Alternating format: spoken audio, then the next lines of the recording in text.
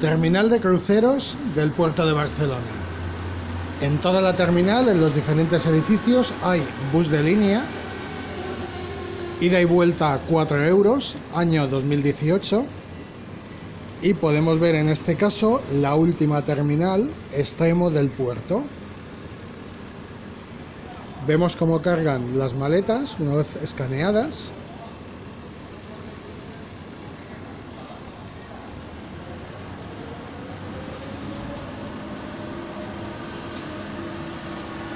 y por si alguno lo necesitáis también tenéis servicio de taxi.